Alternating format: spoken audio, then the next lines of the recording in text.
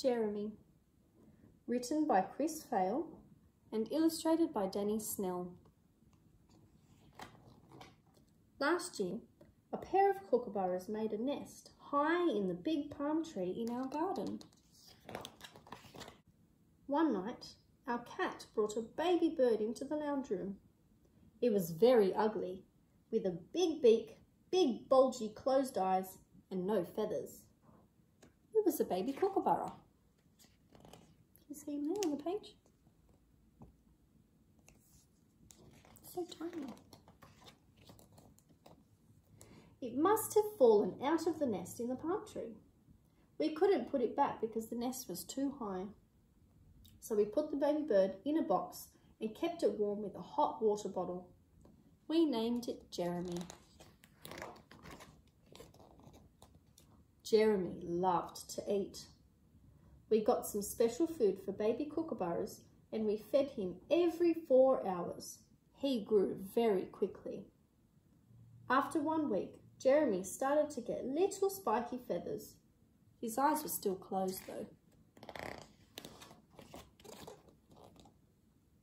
When Jeremy was two weeks old, he looked more like a bird.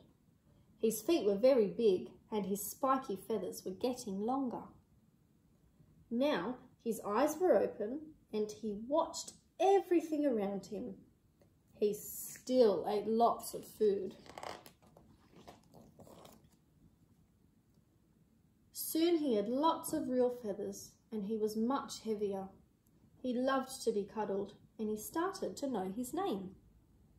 He always told us when it was time for more food by squawking loudly. Boy, did he squawk a lot. Jeremy grew so fast that he was often tired. At night he liked to watch the television, but he nearly always fell asleep. Sometimes he didn't want to go to bed. Once, Jeremy came to school with me for show and tell. Jeremy was so friendly that everyone wanted to take turns holding him. Jeremy really liked this.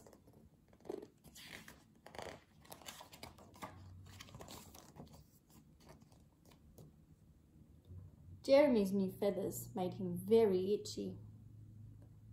By the time he was four weeks old, he looked just like a grown-up kookaburra, but smaller.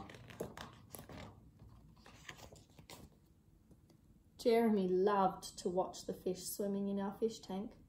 I wonder if he was thinking how nice they would be for lunch.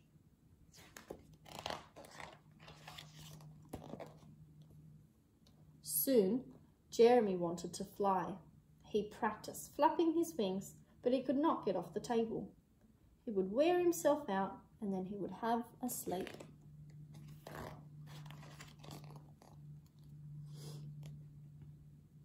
When Jeremy started to fly properly, he crashed into the walls. It was time for him to be outside. He loved being in the backyard listening to the other birds. He was now six weeks old. Over the next few days, Jeremy started to fly around a lot. The willy wagtails chased him everywhere. He always came to the back window when it was time to be fed.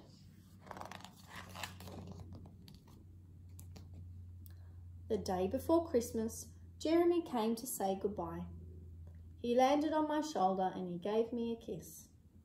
Then he flew up to the big gum tree in the backyard to sit with two other small kookaburras. Perhaps they were his brother and sister. At sunset, the three kookaburras flew away together. That was the last time we saw Jeremy. We were so glad that Jeremy had grown up to be a beautiful, healthy kookaburra and that he had found his family.